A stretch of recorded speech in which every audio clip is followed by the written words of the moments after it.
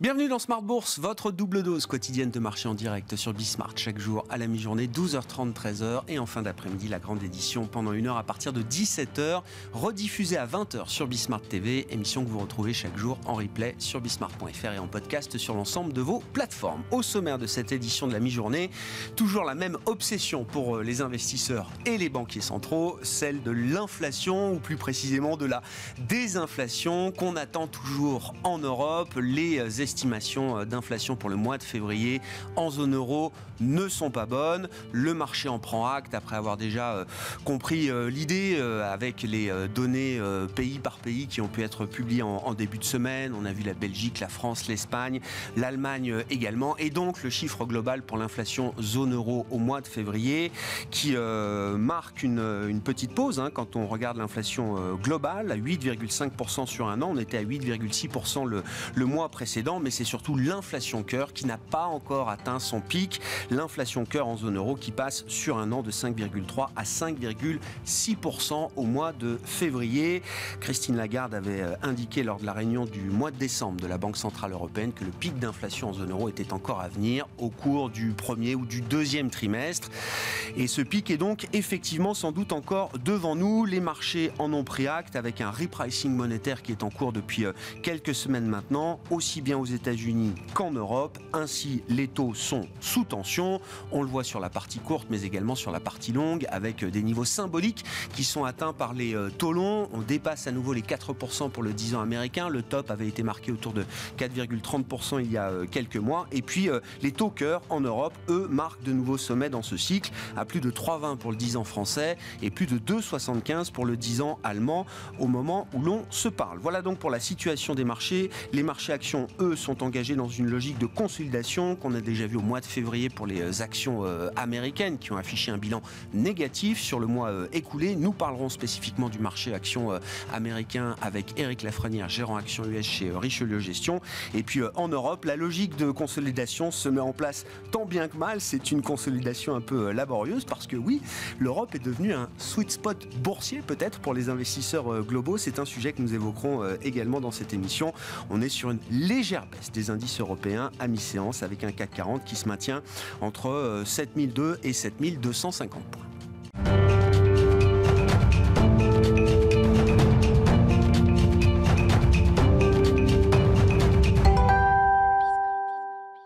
Avant d'attaquer spécifiquement la partie action américaine, euh, un regard un peu euh, global sur la situation et notamment sur la situation d'inflation avec Kevin Tozek qui est à nos côtés en plateau, membre du comité d'investissement de Carmignac. Bonjour et bienvenue euh, Kevin.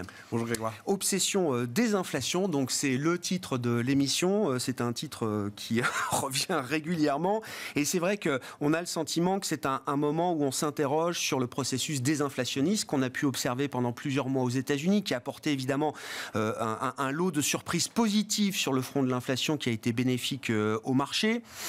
J'allais dire qu'au mieux, les dernières données américaines montrent un, ralentissement de ce processus euh, désinflationniste et même en Europe, la situation semble encore plus retardée puisque visiblement les données d'inflation qu'on a pour le mois de février publiées euh, en ce moment même montrent sans doute que le pic d'inflation, au moins pour l'inflation cœur euh, en Europe, est encore euh, devant nous. Quelles sont les questions que cette situation soulève à ce stade, Kevin? Alors il y en a, plusieurs et notamment à mettre en perspective avec la séquence qui prévalait sur le début de cette année, hein, qu'on avait eu le plaisir de commenter, ce fameux conte de fées, ce fameux Goldilocks avec euh, voilà, euh, bah, des moins mauvaises nouvelles sur le front de la croissance. C'était la désinflation immaculée. Les marchés euh, aiment bien les concepts. Hein. Donc il y avait l'inflation transitoire, balayée, l'inflation forever. Et puis on était dans le concept de l'inflation indolore, immaculate disinflation. Et donc, euh, euh, sans doute un, optimisme euh, élevé, et vraisemblablement trop élevé au vu des réactions de marché depuis, depuis quelques, quelques jours et quelques semaines maintenant. Et donc, c'est bien, on est bien dans cette tendance de ce rythme de désinflation, et c'est ce rythme de désinflation qui, qui, qui, déçoit globalement. donc, voilà, euh, sur, sur, ces, sur ces publications d'inflation, alors après on peut, voilà, on, peut regarder plus, euh, plus dans le détail ce qui se passe sur le front euh, de l'alimentation, par exemple, sur, l'inflation européenne. Donc là, on voit des effets de second tour. Hein. C'est-à-dire que voilà, on a une hausse des prix des, des, matières premières et des matières premières alimentaires. Ça se voit aujourd'hui dans les, produits, les produits transformés, avec le risque qu'on ait un effet de, je mets des guillemets, de troisième tour et que ça vienne ensuite sur, le front des, sur le front des salaires on a quand même des banquiers centraux qui veillent euh, au grain, si vous me permettez Bien sûr. Bien sûr. La, métaphore.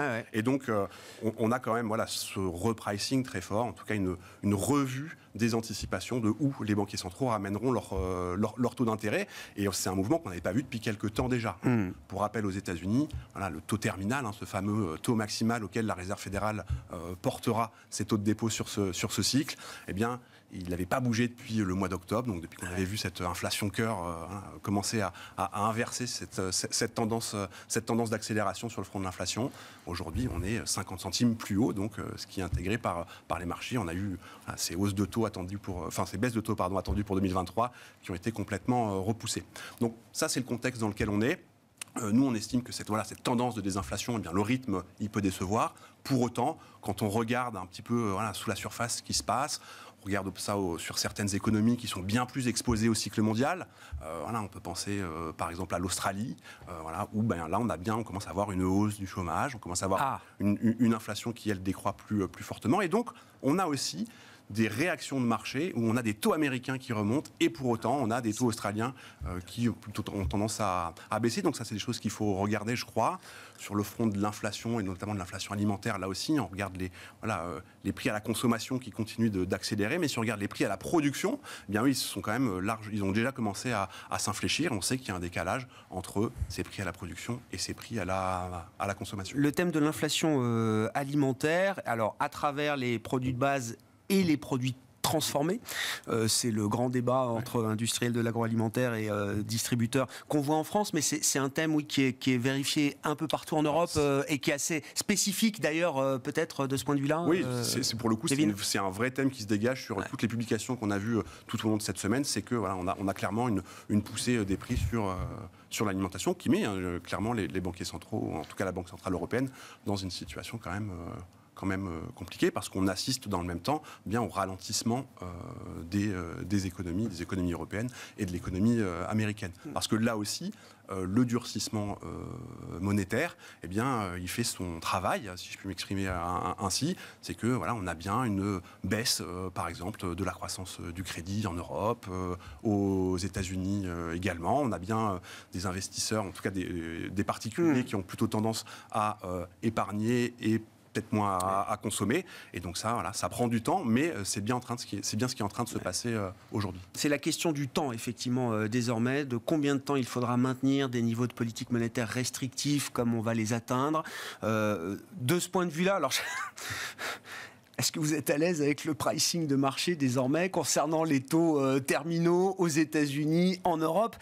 Et la durée que le marché anticipe pendant laquelle ces taux seront, euh, maintenus, euh, Kevin alors peut-être que dans trois mois, on se reposera la même question, mais est-ce qu'à ce stade, ça vous paraît cohérent avec un, schéma, la poursuite d'un schéma désinflationniste? Alors clairement, la, complaisance euh, des opérateurs de marché qui caractérisait encore cet, cet environnement financier euh, il y a quelques, quelques semaines et quelques mois, eh bien voilà, elle, s'est largement effacée. Hein. Pour rappel, il y avait des baisses de taux d'intérêt aux États-Unis qui étaient anticipées dès 2023. Ça a été repoussé à 2024, ce qui nous semble, à nous chez Carmignac, bien plus cohérent avec le scénario économique qu'on a, c'est-à-dire que voilà, on a bien ce, ralentissement, euh, cet atterrissage pour l'instant en douceur de l'économie américaine qui devrait pour autant bien rentrer en récession euh, sur la deuxième partie de cette année, sur la fin de 2023, le début de, 2024. Donc ça, c'est cohérent avec, euh, ce scénario-là. Ce scénario, là 4% voilà, de taux terminal en Europe, euh, ben, ça semble maintenu euh, peut-être jusqu'en février 2024. Hein.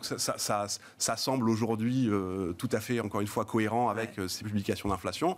Là aussi, c'est un discours qu'on aurait pu tenir il y a quelques mois avec des taux terminaux qui étaient beaucoup plus bas. Donc dans ce contexte-là, c'est vrai que voilà, c'est aussi un des enseignements hein, de, ces dernières semaines et de ces derniers jours, c'est que sur le front de l'inflation, on peut aussi être, être surpris, être surpris à la hausse dans cette trajectoire de, de désinflation. Et donc, plutôt que d'aller mettre en place des positions sur voilà, ces taux d'intérêt, ces, ces, taux courts, on va plutôt aller un petit peu plus loin sur les points de courbe. Hein, donc, sur Mais pas trop loin non plus. Bah, sur, sur, on va dire, entre, entre, sur la partie intermédiaire à, longue, entre, entre, entre, 5 et, entre 5 et 10 ans.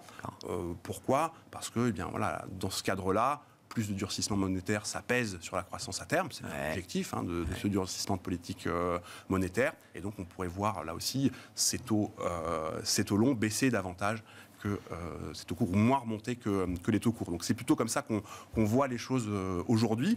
Ça, c'est aussi en termes de séquence, parce que se pose également la question de est-ce que, justement, ces banquiers centraux, la Fed notamment, arrivera ou euh, gardera son, cap et amènera, gardera bien ses taux d'intérêt en territoire restrictif beaucoup plus longtemps Est-ce qu'elle euh, voilà, elle arrivera à, maintenir cette position-là, ce durcissement de politique monétaire-là, cette politique monétaire dure, alors même que eh bien, on pourrait voir l'économie euh, américaine ralentir davantage, un taux de chômage remonter.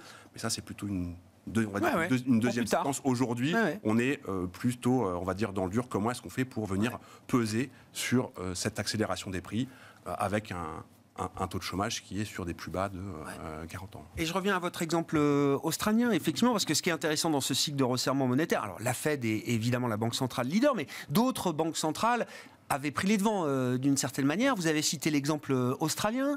Euh, je voyais que l'économie suédoise était officiellement en récession aujourd'hui, aux portes de l'Europe et de la, dans l'Europe bien sûr, et aux portes de la, la, zone euro, et même encore un peu plus proche de, de nous, Européens continentaux.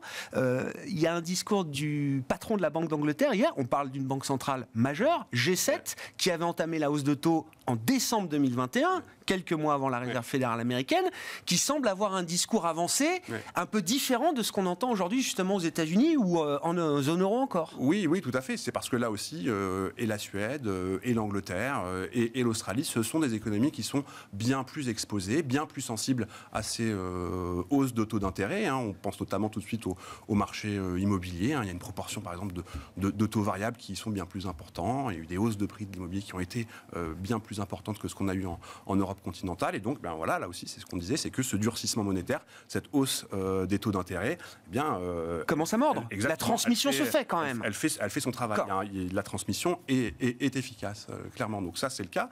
Puis il y a d'autres économies, d'autres pays qui étaient bien plus avancés dans le cycle de resserrement monétaire et notamment dans des pays, euh, dans des pays émergents.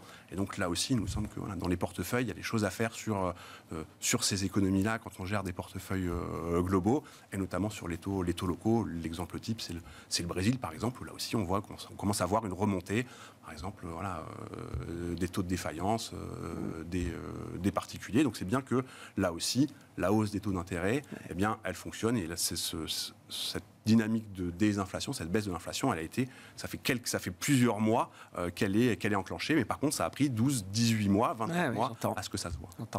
Sur le, plan de l'investissement, alors c'est mon autre obsession du moment, euh, comment est-ce que l'Europe est devenue un sweet spot pour les investisseurs euh, globaux?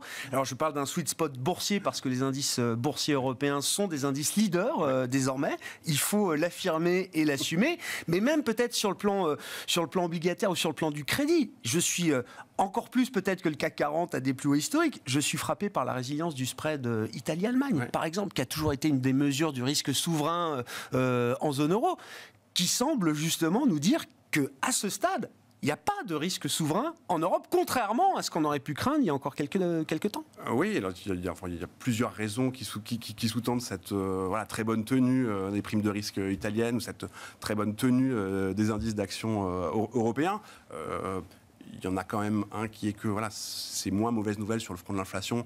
Elles sont aussi liées à de moins mauvaises nouvelles sur le front de la croissance. Donc ça, c'est pas une mauvaise nouvelle justement pour euh, ces économies qui sont plus largement euh, tributaire à ce qui se passe sur le front de la croissance, et notamment, euh, notamment en, Italie. Euh, il y avait aussi beaucoup d'inquiétudes euh, liées à des programmes d'émissions importants. il y a quand même une forme de, de reset, de remise à zéro au, mois de, au, mois de décembre. On avait vu hein, ces, ces, mêmes primes de risque italiennes remonter très très fortement. On a aussi là aussi sur le front politique italien une vraie forme de mesure, une vraie forme de continuité. Même Giorgia Meloni n'a pas réussi à faire écarter le spread BTP Bund. Et eh ben, ces politiques pour l'instant s'inscrivent s'inscrivent clairement dans la continuité du gouvernement précédent et du gouvernement, du gouvernement Draghi. Donc ça aussi, ça, c'est un vrai, un vrai soutien pour ces, ces, primes de risque souveraines, souveraines italiennes. Et donc voilà, aujourd'hui, on voit on a des obligations italiennes qui se comportent peu de choses près comme des obligations allemandes, alors avec un bêta un peu plus, ah bah oui, un, Peu, un peu plus élevé, mais crédit quand même en, que le... en, termes, de comportement. Ah ouais, j'entends. Je suis vraiment cette, ah ce mouvement-là. Bon, en termes de logique d'investissement dans un portefeuille diversifié type euh, Carmignac Patrimoine, bah justement, est-ce que l'Europe euh, a, euh, trouve une bonne place et quelle est la, logique du moment pour vous Oui, je crois que le, mot diversifié, il, Est, il, est très important et c'est ce qu'on voit, voilà, ce qu'on l'a dit sur les marchés obligataires, c'est-à-dire qu'il voilà, y a des, évidemment des marchés leaders comme les marchés de taux européens, les marchés de taux américains, mais l'a aussi quand on a un terrain de jeu qui est global, on peut aller justement essayer de chercher de la diversification.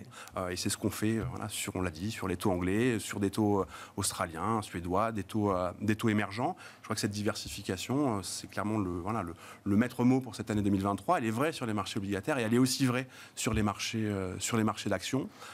et donc voilà, là où on pouvait au préalable être quasiment exclusivement investi euh, aux États-Unis parce que c'est là que se trouvaient tous les, tous les grands leaders euh, mondiaux. Ben, on trouve aussi euh, des leaders mondiaux en Europe et en France également. Hein. on regarde, vous parliez du 440, on regarde des L'Oréal, des LVMH, des Hermès. le nouveau Nasdaq. Des Schneider Le 440, c'est le nouveau Nasdaq. Le nouveau Nasdaq sur les leaders. Là où c'est pas le nouveau Nasdaq, c'est que c'est bien plus diversifié que le Nasdaq. Ah. Hein. là aussi, c'est-à-dire que quand on regarde les grands secteurs, eh hein, on a ce secteur du luxe, mais on a aussi des bancaires, on a aussi de l'énergie. Et donc ça, c'est très important dans ce contexte. Où on parle de diversification, parce que c'est important de ne plus être exclusivement concentré sur un secteur et une région, et donc avoir plus d'Europe que par le passé, plus d'Asie, plus de Chine que par le passé, et peut-être relativement parlant un petit peu moins euh, d'états-Unis aujourd'hui. C'était un des grands messages de fin d'année ou début d'année du stratégiste de Bank of America Merrill Lynch, alors adressé notamment à une clientèle d'investisseurs américains, mm. Buy the World, achetez le monde, voilà, sortez un peu des États-Unis et euh, regardez aussi le, le, reste du monde. Merci beaucoup Kevin. Kevin Tozet, membre du comité d'investissement de Carmignac.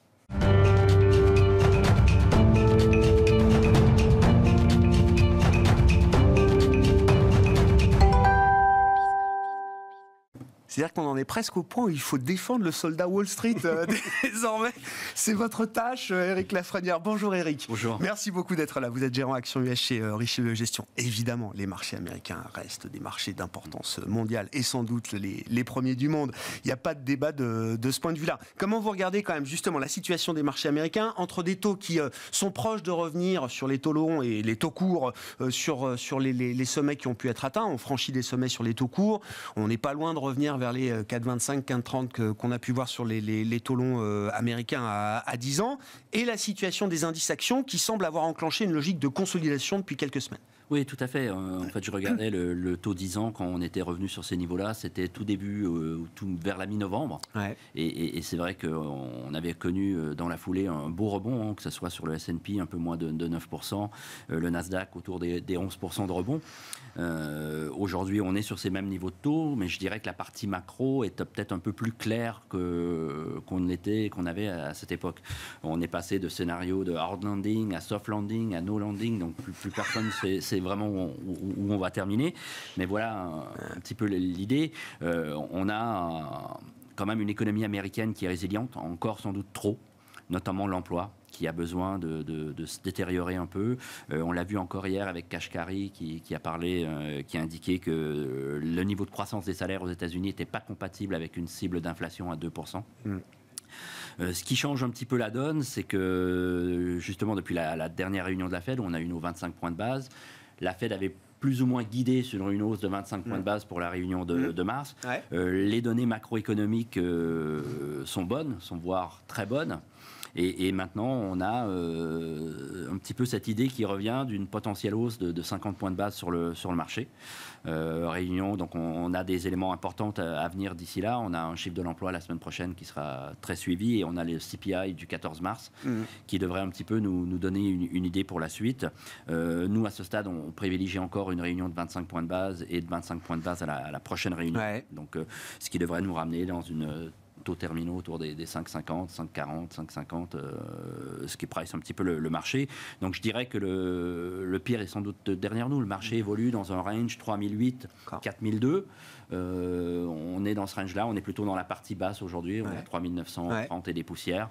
Donc euh, pour moi, on n'est pas très loin d'un plancher pour amorcer un nouveau petit rebond. En tout cas, Il y a des, facteurs euh, techniques, de positionnement qui, peuvent euh, justifier effectivement cette logique de range et l'idée que le retracement soit pas un retracement qui renverserait complètement euh, l'idée d'une reprise ou d'un bah, début de rebond on, a eu, euh, on l'a vu en janvier, le rebond qu'on a eu qui a été quand même relativement fort sur, sur les valeurs qui ont été sensiblement délaissées l'année dernière, hein, mm. le trash rally hein, ah.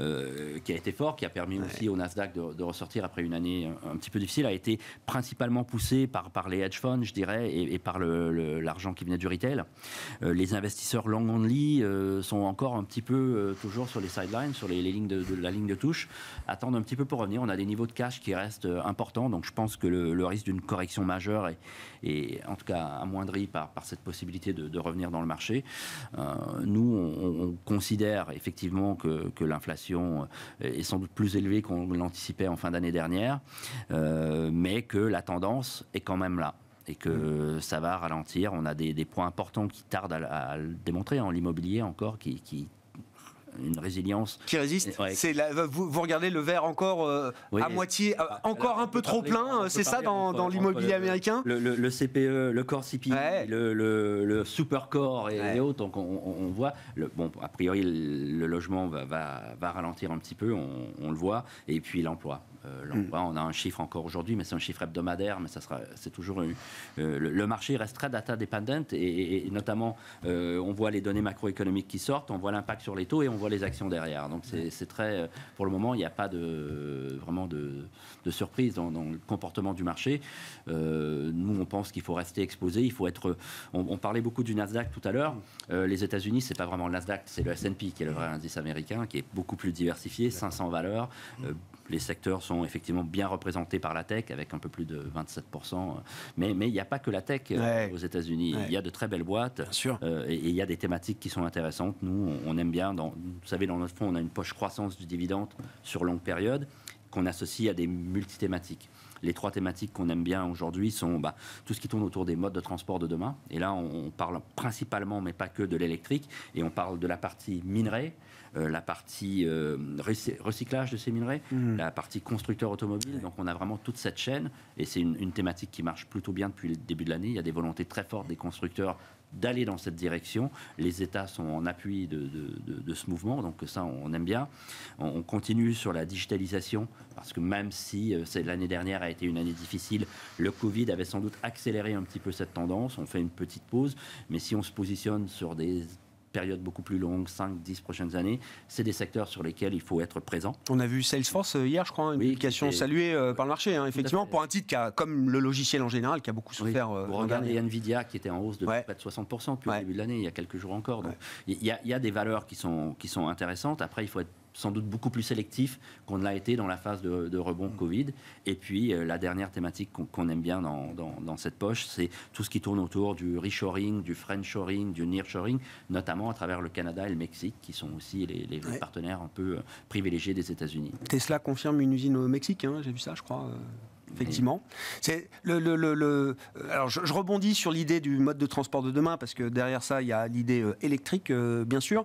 L'IRA qui fait couler beaucoup d'encre euh, en Europe mais aussi aux États-Unis. Est-ce que est-ce que ça euh, accroît encore effectivement euh, votre appétit pour euh, cette thématique Est-ce que ça, est-ce que ça se reflète dans une stratégie action américaine telle que vous la menez? Tout à fait. On peut la, cette, thématique, on l'a vu à travers les semi-conducteurs, on la voit, on l'a vu même hier avec Eli Lilly parce qu'il y avait déjà une volonté à travers, à travers la, sur la limitation du prix, hein. limitation des prix des médicaments. Donc ça peut se jouer sur plein de thématiques et, bien entendu, c'est aussi des, choses qu'on va regarder, analyser dans, notre choix de, de, de valeur. Mais je pense qu'on revient dans un régime euh, c'est vrai, on a eu connu 10 ans où euh, la croissance et les marchés, et on pouvait euh, acheter a priori n'importe quoi et gagner de l'argent.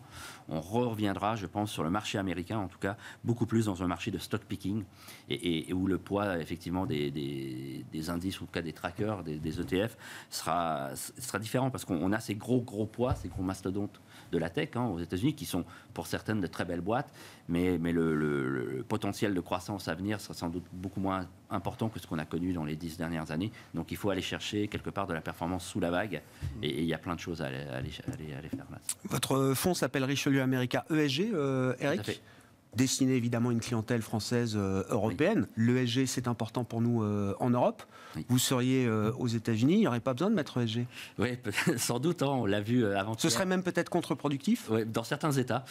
on l'a vu. Comment vous regardez Non, mais c'est un sujet, c'est plus qu'une fracture à ce niveau-là. Oui. C'est une, c'est une nouvelle ligne de sécession entre, euh, euh, alors, les deux partis politiques euh, américains. Ça se joue au Congrès de manière très violente. Et État par État, en fonction du biais politique de chaque État, et chez les investisseurs, avec des actionnaires qui disent il faut en faire plus et des actionnaires qui disent arrêtez tout, vous êtes en train de gâcher toute la rentabilité financière que nous on vient chercher chez vous.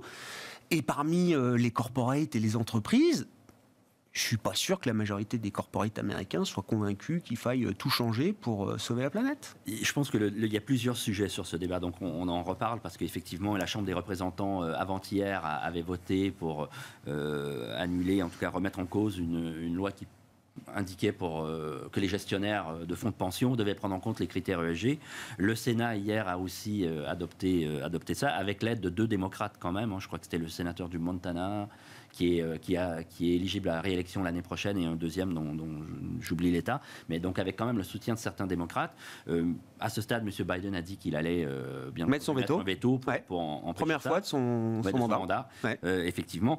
après, ce qu'on peut constater, c'est que je pense que les, les, entreprises américaines jouent le jeu. On le voit. Hein, mon, fonds a été lancé il y a trois ans. On applique une méthode européenne. On travaille avec un partenaire qui était franco-français européen qui était euh, Eris, qui appartient aujourd'hui à, donc, à Moody's. Hein.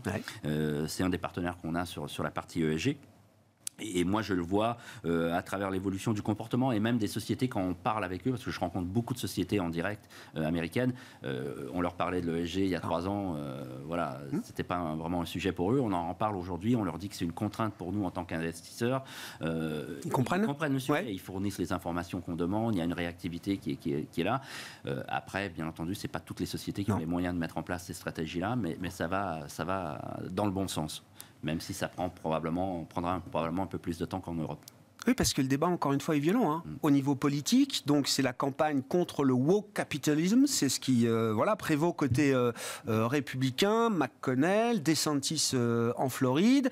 On menace de boycotter les gestionnaires d'actifs, en tout cas de les priver de la gestion des pensions locales des différents États si ces gestionnaires d'actifs se mettent à exclure des secteurs type énergie fossile ou autre. C'est un combat très violent qu'on ne retrouve pas du tout en Europe. En Europe, on a des débats, des discussions, il y a des critiques sur la manière de faire, mais tout le monde est orienté, investisseurs, entreprises, vers les mêmes sujets de transition et de verdissement de l'économie et de l'industrie. Oui, mais ça va avec le débat plus, plus global qu'on a euh, depuis l'arrivée de Trump euh, à la présidence. On a vraiment une, fracture qui est en train de se faire au sein de la population américaine. Et, c'est, je pense que ce débat-là reflète un petit peu cette, cette situation-là. Euh, c'est pour ça que là, on va avoir, on a les premiers candidats qui commencent à se déclarer aux, primaires républicaines. Hein. on va avoir, je pense, quelques années très intéressantes pour voir quelle direction l'économie américaine et la société américaine va se diriger. Et probablement, le, on en parle pas suffisamment, mais je pense que l'héritage le plus fort, bon ou mauvais, de M. Trump dans sa présidence, c'est la façon dont il a réussi à rendre la Cour suprême américaine très conservatrice. Mmh. Et on le voit de plus en plus de sujets mmh. importants. On l'a vu encore sur les prêts étudiants il y a quelques jours. Mmh. Donc il y a, euh, des choses euh, intéressantes à venir. Il y a eu une espèce de, gros warning des, gros asset managers euh, américains, private equity, gestion d'actifs cotés, etc., en disant le débat, la polarisation du débat fait peser un risque financier désormais euh, sur nos épaules. ils prennent ça très au sérieux quand même, ah, bah, les BlackRock, etc. Hein. Ce sont des sociétés qui sont ouvertes sur le monde, donc qui ont peut-être un moins un prisme centré sur les États-Unis. Donc on voit comment le monde est évolué, comment la société évolue. Et pour eux, ce reste des, éléments qui sont essentiels. Mmh. Merci beaucoup, euh, messieurs. Merci, Eric, euh, d'avoir été avec nous pour euh, ce focus sur le, marché américain. Eric Lafrenière, gérant action US chez Richelieu Gestion. Et je le rappelle, Kevin Tozet, qui nous accompagne également, membre du comité d'investissement de Carmignac. Voilà pour cette édition Smart Bourse de la mi-journée. On se retrouve à 17h en direct sur Bismart.